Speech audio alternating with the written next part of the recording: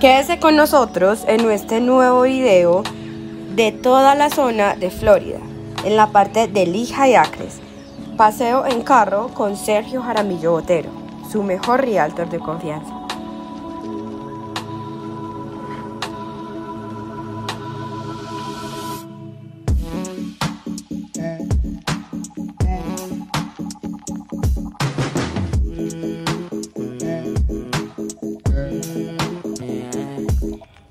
¿Has decidido comprar? Antes de saltar al mundo de casas abiertas y agentes de bienes raíces, tomes el tiempo para poner sus finanzas en orden. Lo ayudará una vez que llegue el momento de solicitar la hipoteca. También te ayudará a obtener algunas perspectivas financieras antes de que te enamores de ese centro colonial perfecto o el estudio con vistas al parque.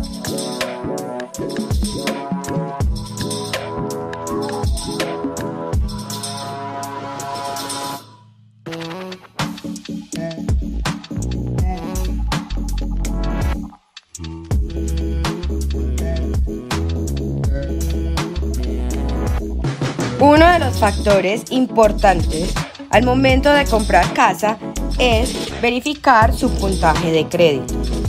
Los prestamistas usan puntajes de crédito, también conocido como puntajes FICO, para evaluar el riesgo potencial de préstamos para usted. Cuanto mayor sea el número, que va de 300 a 850, mejor será tu puntaje. Las mejores tasas de interés hipotecario aplican a los prestatarios con puntaje de crédito entre mediados y altos, 700 o más, de acuerdo con la Oficina de Protección Financiera del Consumidor para saber dónde está parado. Vaya a annualcreditreport.com, que ofrece un informe gratuito anualmente. Tenga en cuenta que las tres principales agencias de informe de crédito son Equifax, Experian y TransUnion. Generan sus propios puntajes FICOS basados en los datos que recopilan. Podrás descubrir los tres aquí mismo.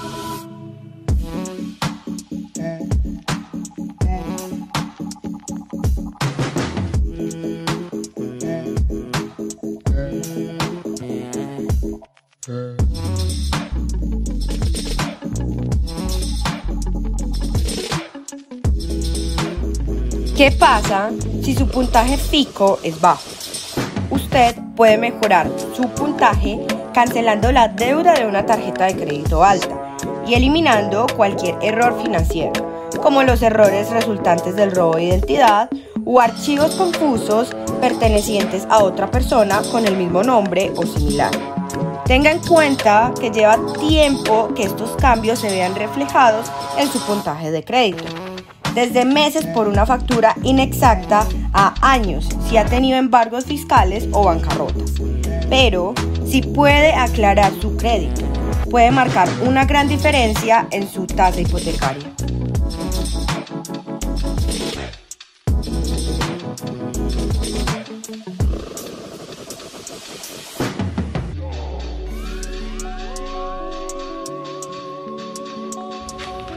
Llame a Sergio Jaramillo Botero, Realtor.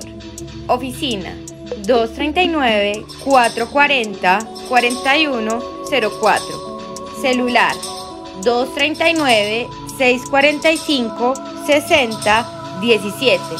O nos puedes escribir al correo sergiojrealtor.gmail.com